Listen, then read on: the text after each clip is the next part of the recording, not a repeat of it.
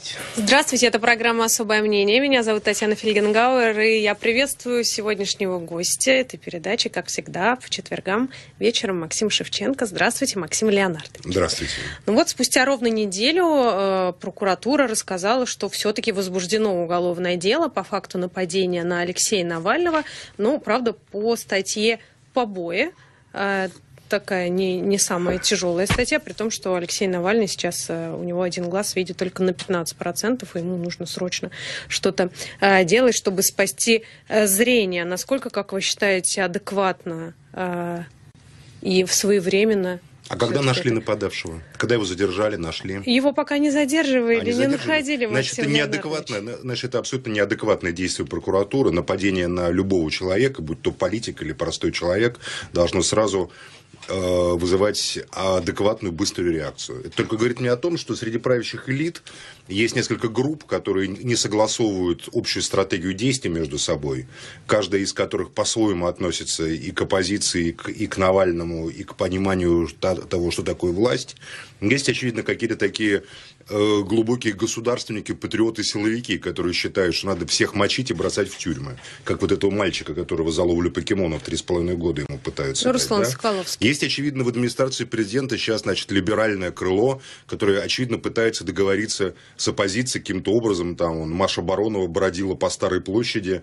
И вообще открытая Россия, как говорится, напомню, была фактически выставляла кандидатов на, президент... на парламентских выборах по многим регионам. От Парнаса там шли многие. Ну, а Та же самая Маша Баронова По-моему, это нормально. Поэтому... Это Конституция гарантирует Нет, это право быть избранным. Мы же говорим не теоретически, а практической политике. У нас в одной и той же стране одна часть оппозиции, в том числе люди Ходорковского, приближенные, э, спокойно регистрируются кандидатами на парламентские выборы, а других людей, хоть они через голову вывернутся, никогда не зарегистрируют из той же самой оппозиции. Это что значит? Что в оппозиции есть разные крылья, а, а одни коллаборационисты или марионетки власти, а другие принципиальные оппозиционеры? Или одних считают опасными, а других нет. А почему? То есть Ходорковского опасным не считают, если его людям там дают зеленый свет, и они делают, Спросите что хотят. у Кириенко или Нет, у Володина. Это Я не хочу было. спрашивать. Спрашивать, это ваша работа, как мы выяснили благодаря господину Веллеру.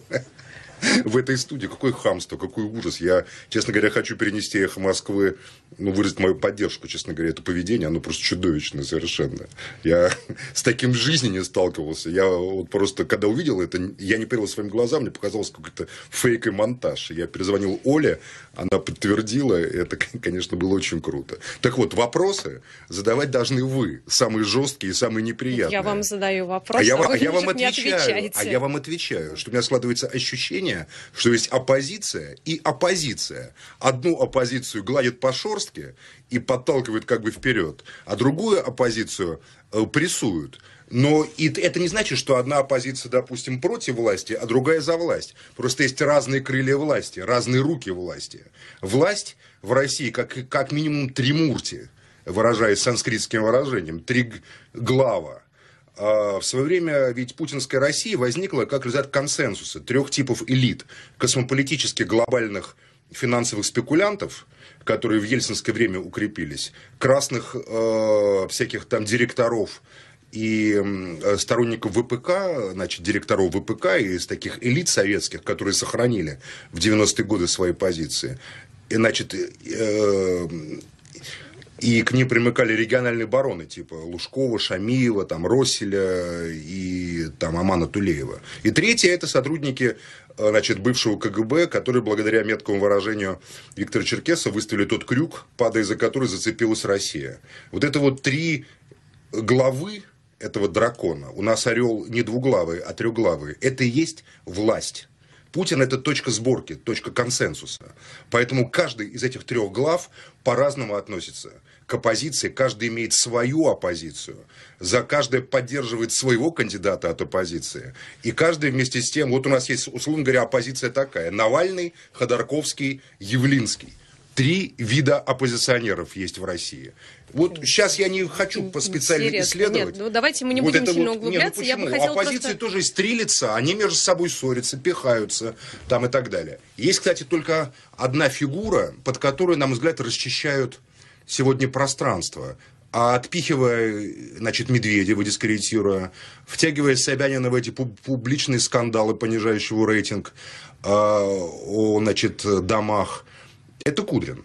Собственно говоря, под Алексея Кудрина, как под наиболее реального кандидата в президенты, на мой взгляд, преемника, в преемнике, э, расчищается вот это вот оппозиционное пространство, стравливается между собой для того, чтобы вышел потом такой гигант-богатырь либеральный, и, как говорится, сказал, ребята, не ссорьтесь, в лесу все, в либеральном лесу все шишки мои, и я типа вот возглавлю новый такой период такого российского государственного либерализма.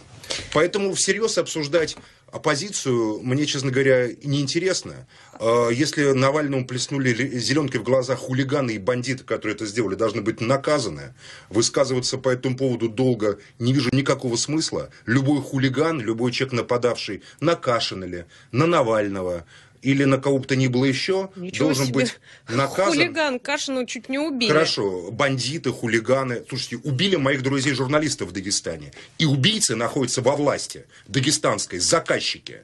И есть протоколы Следственного комитета, где названы имена и заказчики убийства Хаджимурата Камалова, например. И власть Поэтому вот это убийцы. А те, кто напал на Кашина и на Навального, слава богу, не убийцы, а просто хулиганы. Поэтому давайте называть вещи своими именами. Те, кто убил Аню Политковскую, это убийцы. Наталью Истемирову убийцы, Бориса Немцова убили убийцы. А это не убийцы, а хулиганы. Но правовая и юридическая оценка им должна быть дана. А, кстати, по поводу того, как э, искали и находили человека, который напал на Алексея Навального, а, блогеры ведь нашли в итоге, потому что следственных действий никаких не было, а они по кадрам нашли этого человека, Александр Петрунько, человек, который очень любит фотографироваться, вот с вами, например, сфотографировался. Ну, со мной многие фотографировались. Вот. И это движение «Серп». Может быть, слышали Никогда. про такое? А, вот с Сергеем Глазевым дружны они всячески. На выставку Стюржица, например, э, нападали. Очень патриотичные такие ребята. Ну, э, как-то каждый раз безнаказанно уходили они. Все спускалось ну, на тормоза. Значит, какая-то группа из этой вот этого вот трехглава, да, трехглавого орла, который я описал, с короной Путина наверху, какая-то из этих голов стоит за этими бандитами и прикрывает их. У меня нет другого объяснения, почему кто-то уходит безнаказанно от чего-то. Наказывают только того, над кем исчезает крыша внезапно. Вот губернатор над ним исчезла крыша, значит, его наказывают. А если крыша не исчезает, то никто никого не наказывает. Хоть он будет грести бабки там себе лопатой и грабить свой регион там как только может. Его не накажут. Э, по поводу фотографии, вы, а вы с Александром Петрунько этим не знакомы? Ну, и, и какие-то патриоты, я видел эту, эту фотографию, я припоминаю это, этого человека на каких-то мероприятиях в 2014 ли году, посвященных Крыму или Донбассу, он мог подойти ко мне. Но я даже не мог вспомнить, что это там за эмблема на заднем плане, что это за мероприятие такое. Так вот лично я с ним никогда не общался. А, последний тогда вопрос по этой теме. Как считаете, будет э, по-честному расследовано нападение на Алексея Навального? Ну, я, я надеюсь, что благодаря позиции журналистов «Эхо Москвы» и других демократических изданий оно будет расследовано по-честному. Спасибо. Это особое мнение Максима Шевченко. Продолжается программа «Особое мнение». Меня зовут Татьяна Фельгенгауэр, и в гостях у меня журналист Максим Шевченко. А вы упомянули о крыше, которая а, позволяет творить все, что угодно и любое беззаконие. А, и упомянули как раз ситуацию в Дагестане с убийствами журналистов. Которые не расследуются. Которые да. не расследуются. Президенту врутся врется на высшем уровне, что якобы все расследовано, хотя ничего не расследовано. А, как, как такое возможно То есть все расследовано, вообще? но убийцы не наказаны, потому что уверен, что они заплатили деньги за то, чтобы заморозить это. Криминальная ситуация, криминализация страны, криминальная, криминализация юридической системы, силовой, возможно, политической системы. Ну, Владимир Путин тоже же, наверное, не дурак всему верить. Наверняка у ну, него а есть разные источники информации. Человек, э, который должен заниматься там Южной Кореей, Северной Кореей, Японией, Турцией, ракетами и так далее, еще и попутно, сколько у него часов должно быть в день, чтобы заниматься еще аспектами решения юридических правовых вопросов, которыми вообще-то должны заниматься структуры МВД, Э, Следственного комитета, ФСБ и суды. Речь Или идет... президент их делами тоже должен заниматься? Речь идет о безопасности, о базовой... Безопасностью должна заниматься Федеральная понятии. служба безопасности, на мой взгляд, безопасностью, а не президент Российской Федерации. Он гарант... А они должны... Ну, он не должен заниматься каждым криминальным э, преступлением, совершаемым в нашей стране. Должны быть соответствующие структуры, которые дают правовую юридическую оценку. Если, если они такой оценки не дают, давайте об этом э, поднимать шум и доводить до президента. Вот я считаю, что принципиальное сознательное неквалифицирование подобного рода преступлений является уже поводом для нашего прямого обращения к президенту. Будет как, какая-нибудь годовая встреча очередная прямая линия с президентом. Скоро. Да, прямая линия. Вот, пожалуйста, пусть эхо Москвы задаст такой вопрос.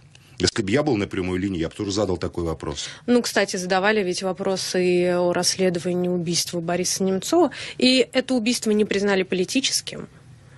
А, но мы же знаем, Владимир Путин обычно отвечает на вопросы о такого рода преступлениях. Суд разберется. У нас независимая судебная власть. И формальность невозможно поспорить. Суд должен быть независимым. Президент не имеет права давить на судебные органы. Безусловно. И мы, получается, в безвыходной ситуации. И мы, получается, уби- в ситуации журналистов оста- останутся безнаказанными? Ну, я считаю, что на данный момент, да, абсолютно. Наглые убийцы безнаказанно ходят по земле, сидят, выступают там перед э, разными людьми, нагло э, там сидят в президиумах, знают, что они заказчики убийства журналистов, там Камалова, и остаются безнаказанными так спокойно об этом говорите. Вы уверены, что я об этом говорю спокойно? Что я тут должен э, там забиться в истерике, подобно Веллеру, что ли? А, нет, я думаю, что Я говорю, быть, как есть, есть что я видел на своей э, жизни много. Я видел рвы там с расстрелянными женщинами, детьми, понимаете? Я видел сожженные дома, я, я видел карательные а, операции, что мне нервничать. Я просто знаю, что ни один э, убийца так или иначе в этой жизни или в следующей от возмездия не уйдет.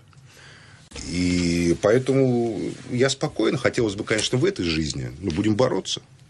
Насколько Владимиру Путину удается вообще, на ваш взгляд, э, оставаться гарантом для российских граждан, потому что э, есть, ну, это трагические ситуации, о которых мы говорили с э, убийствами с нападениями, э, и это разговор о безопасности, но есть и другие вещи, которые э, затрагивают огромное число людей. Вот неделю назад вы уже начинали разговор об этой так называемой реновации в Москве. И тоже, куда людям идти, к кому им обращаться? Мне кажется, у каждого уровня власти есть свои пространства компетенции и полномочий. Все-таки э, проблемами жителей Москвы должна заниматься мэрия Москвы, а не президент Российской Федерации. И то, что это выносится на уровень президента, говорит о том, что вся эта ситуация задумано просто как политическая провокация. Помимо того, что там есть доля справедливого возмущения людей, но вместе с тем там столько шума вокруг этого стоит, что для меня совершенно очевидно, что это тоже один из факторов дискредитации Собянина, как возможного преемника. Потому что не секрет, что Сергей Собянин тоже рассматривался как преемник на президентский пост, как кандидат потенциальный. Медведев, Собянин, еще раз говорю, на мой взгляд, место расчищается для Кудрина.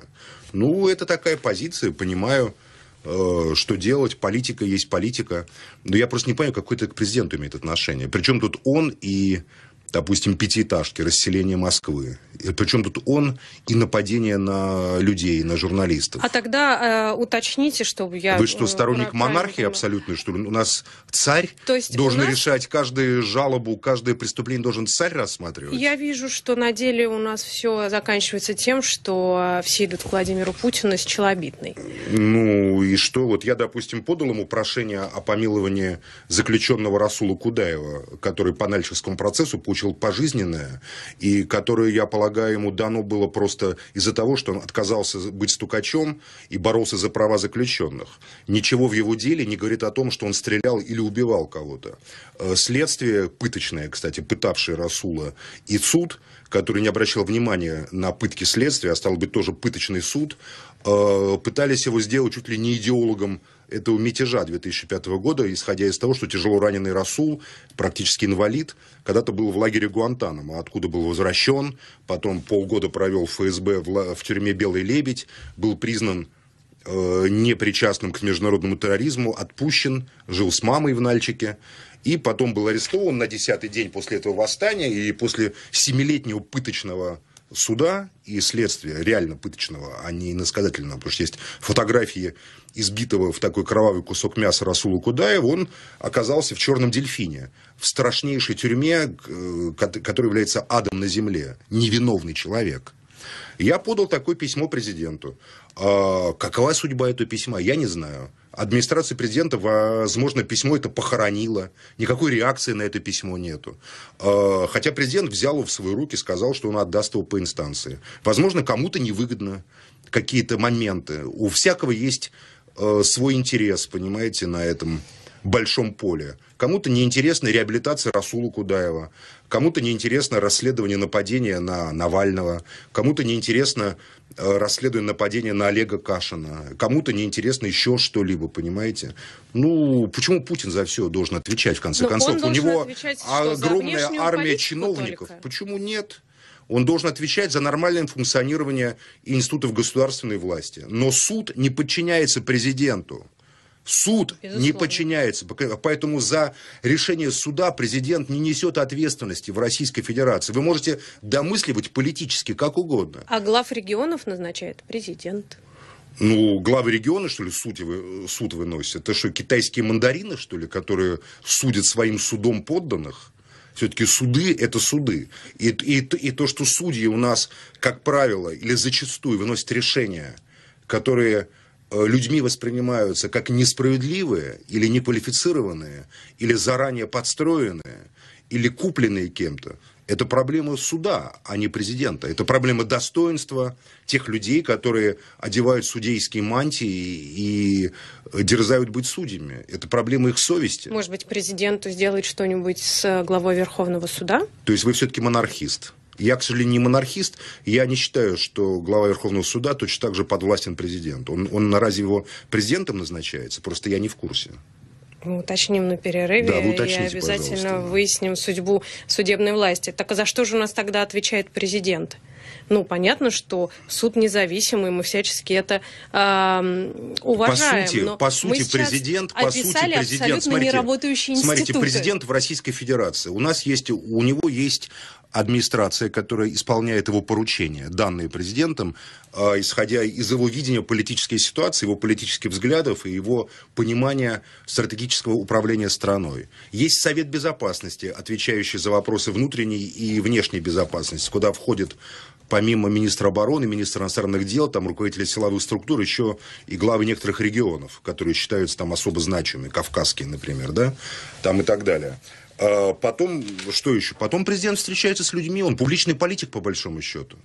Вот он встречается там с, с этими, там, с учителями, там, с юристами, с адвокатами, э, с Валдайским клубом, там, журналистами. Он публичный политик. А, за что отвечает французский президент? Он что, отвечает за решение суда? Он отвечает за не беспорядки повезло, в Марселе? Не, не повезло Путину, видимо, с чиновниками. Пять лет майским указом. Я считаю, любое государство, любое буржуазное государство потенциально криминально и коррупционное. Любое. Четыре минуты перерыва, и мы вернемся. Продолжается программа «Особое мнение». Меня зовут Татьяна Фельгенгауэр. Максим Шевченко сегодня у меня в гостях. Э, председатель Верховного суда назначается на должность Советом Федерации по представлению президента при и при да, да, наличии положительного заключения Высшей квалификационной коллегии э, судей Российской Федерации. А, ну хорошо, Но ну, давайте про институты. инициатива, понимаете, после 93 -го года, после кризиса, когда судебная и конституционная власть, помните, там разделилась и часть была на стороне парламента, часть на стороне президента. Это, это, это именно ельцинская демократия подчинила себе таким образом косвенно и судебную власть тоже. Потому что, конечно, это ненормально, когда назначается судья по представлению президента, от которого, стало быть, судья зависит потом. Эм, ну, я так понимаю, вас вообще система демократии не сильно устраивает? Буржуазной демократии, конечно, нет. А абсолютная такая фальсификация просто политического процесса. Только в интересах, крупного, в интересах крупного капитала, в интересах тех, кто обслуживает интересы крупного капитала. Тогда Большая часть народа просто так живет. А? Трогают выборы во Франции. Объясните мне, если вы считаете, Меня трогают что выборы во Франции, потому что я считаю, что пари...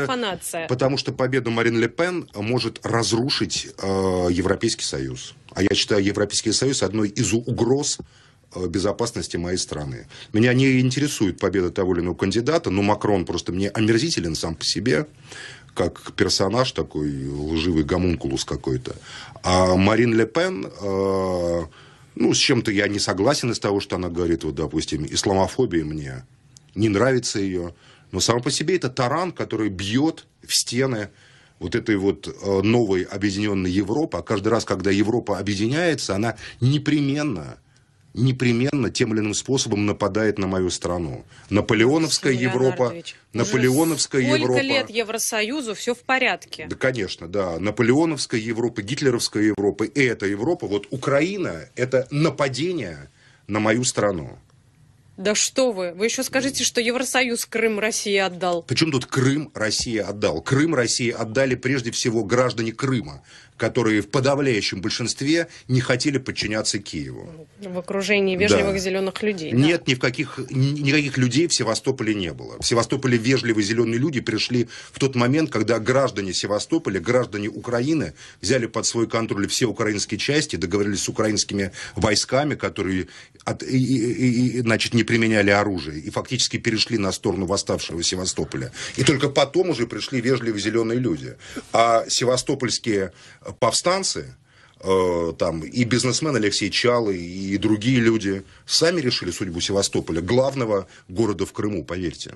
А, хорошо, так э, Евросоюз-то здесь при чем? Э, и в любом случае Украина... Напад... Наступление, наступление на восток, наступление на восток, ну мало ли что. Знаете, Словакия э, тоже была суверенной страной в период с 38 по 45 год. Э, и была при этом сателлитом гитлеровской Германии. А Наполеон создавал суверенных стран э, столько, сколько у него было родственников, там, э, каждого из них он сделал королем или принцем, поэтому суверенные страны вот эти, это Понятно. вы можете То есть вы хотите, чтобы Украина была суверенной страной при России, а не при Я Евросоюзе? знаю, что Евросоюз не должен не должен вмешиваться в наши дела. Украина была, по крайней мере, восточная часть, левый берег Днепра и немножко правый тысячелетие связано прежде всего с восточным вектором политики. Западная Украина – это отдельная австрийская, польская территория. Поэтому, конечно, безусловно, то, что там случилось, это экспансия Объединенной Европы на территорию моей родины Советского Союза. И поэтому я считаю, что любые силы, которые будут наносить удар по Европейскому Союзу, будут позитивными. Правые, левые, тем более, что Меланшон и Марин Ле Пен вместе имеют порядка 40%, а электоральные э, тезисы левых и правых в данном случае, хотя Марин Ле Пен никакая не правая, она классическая галлистка. Правый либерал у нас скорее как раз Макрон – либерал-фашист такой классический. А то, что говорит Марин Ле Пен, там нет никакого фашизма, она стоит на республиканских позициях, которые подписался бы Шарль де Голь просто и руками обеими, и, впрочем, ее обнял бы на этих выборах. Ну вот, короче, позиция левых и позиция правых, за исключением исламофобии, абсолютно совпадает. Плюс к этому, если добавить еще позиции католиков, которым Макрон ненавистен как активный гей-активист, потому что католики голосовали против этого закона, одним из лоббистов которого был Макрон, о родителе А и родителе Б. Помните миллионные демонстрации католиков Франции? Так вот, они тоже будут голосовать против Макрона. Я считаю, что результат выборов не, не, не, не настолько очевиден. И даже после дебатов 60 на 40, это еще, как говорится, и не итог. Но даже если Ле Пен проиграет, не менее 40% французов хотят выхода из Европейского Союза. Я лично поддерживаю эти тенденции. поддерживаю альтернативу для Германии, поддерживаю Сиризу и левых в Греции. Это вам так нравится Европейский Союз? Нет, мне ну, нравится так в России тоже были власовцы, которым нравилась Федерация. просвещенная... Я переживаю за то, что происходит В России здесь. тоже были, в Советском Союзе были сотни тысяч людей под трехцветным красно-сине-белым флагом, которым очень нравилась просвещенная германская империя, которая несла освобождение от большевизма, от сталинизма, от тоталитаризма и свободу и процветание народом Советского Союза. То есть вы считаете, что э, будет здорово, если развалится Европейский будет Союз, потому, потому что это угроза для Российской Федерации? Конечно. Никаких других угроз у нас нет. Ну, вот это одна из самых больших очередь. угроз. Это одна из самых серьезных угроз. Единая объединенная Европа, подчиняющаяся наднациональной бюрократии, сидящий в Брюсселе. Она там уже утонула в этой бюрократии. Ничего нигде Европа. никто не утонул. Никто нигде не утонул. По-прежнему НАТО проводит боевые действия на Ближнем Востоке, экс, экспансия на восток продолжается. По-прежнему никто не снимает тезиса об Украине и Грузии, которые станут членами НАТО. А поэтому я извиняюсь, конечно, это не воля грузинского народа и не воля украинского народа, поверьте. Какая-то часть грузинского народа и какая часть украинского народа меньшая, безусловно, этого хочет. А большую часть просто заставляют силой. А вы откуда знаете Ну, потому это? что у меня есть много, потому что я слежу за политической ситуацией в Украине и в, и, э, в Грузии подробно и детально. Я знаю, допустим, что есть большая часть грузин не хочет, чтобы Грузия была членом НАТО. Большая какая? Ну, процентов, я думаю, 70. И это соцопрос а или что? Хочет. Ну, мне просто Прави, интересно. Правящие, потому что они понимают, что это приведет к катастрофе, к конфликту с Россией неизбежному, к эскалации войны. И, в общем, это не то, допустим, чего хочет патриарх Илья. И недаром самый разгар конфликта, который был инициирован с обеих сторон, я считаю, патриарх Илья встречался с патриархом Кириллом, и поэтому вызывают такую ненависть со стороны либералов и патриарх Кирилл, и патриарх Илья, потому что православные владыки являются во многом гарантами неразвития вот этого сюжета, разрушения и эскалации. Поэтому я поддерживаю Ле Пен, я поддерживаю Меланшона, я поддерживаю любую силу, которая будет бить и атаковать Европейский Союз изнутри. Так, давайте мы вернемся все-таки в Российскую позиция? Федерацию. Понятно, О, хорошо. более чем. Отлично, более чем. прекрасно. Ваша ненависть Поэтому к я поддержал Союзу... Трампа, потому что Трамп это конфликт внутри США, Трамп это э, неразрешимая проблема Трамп внутри это США. конфликт со всем миром. Ну, нет, со всем миром он договорится с помощью шести авианосных флотов, а внутри США, боюсь, он вряд ли договорится с Голливудом. Можно ли нас напугать шестью авианосными Меня не- флотами, меня Максим не- Леонардович? Ну, конечно, можно. Это очень серьезная сила.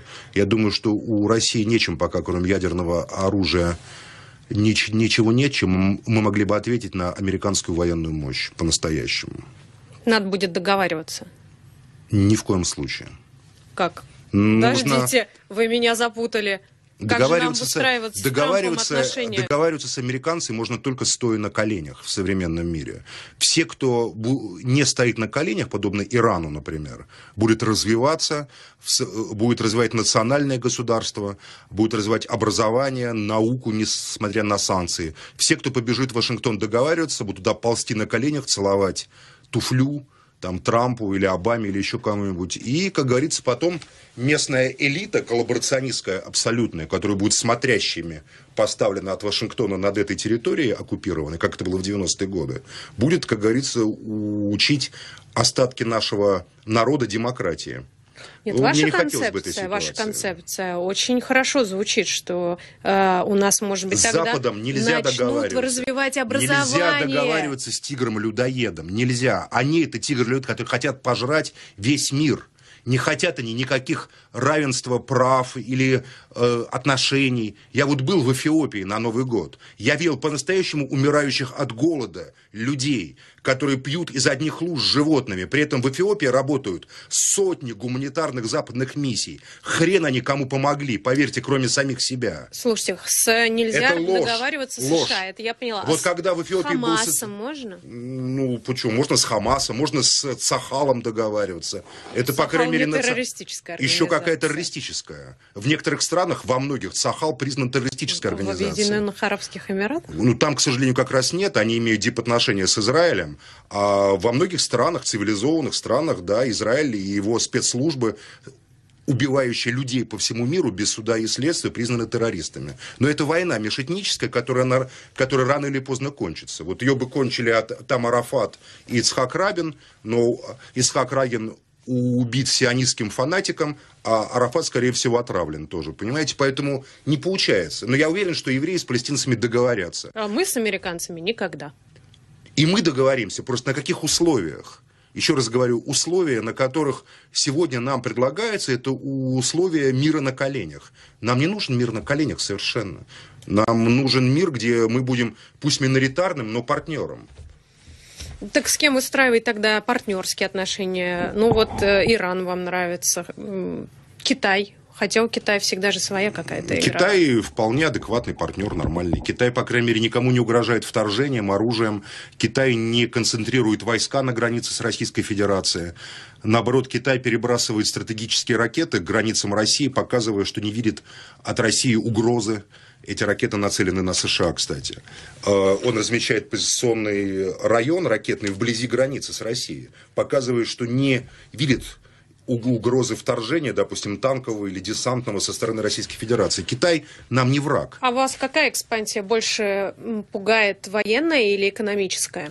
А, военная экспансия – это последний акт политической и экономической экспансии. А сначала была экспансия политическая это разрушение Советского Союза, поддержка ельцинизма и насаждение тут коллаборационистской правящей элиты.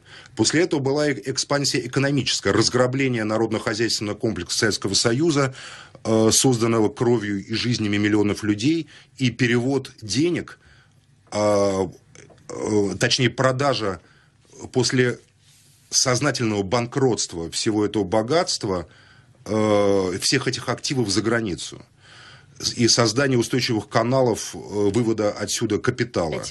И третья экспансия, если это не получится все, они не превратят нашу страну в свою колонию, будет, конечно, военная, безусловно. Пока держимся. Вам смешно? Вы что, мне на их стороне, что грустно. Мне, ну, Максим ну, вот, Мне тоже достаточно очень грустно. грустно. Спасибо. Что, да. Спасибо большое. Это было особое мнение Максима Шевченко. До свидания.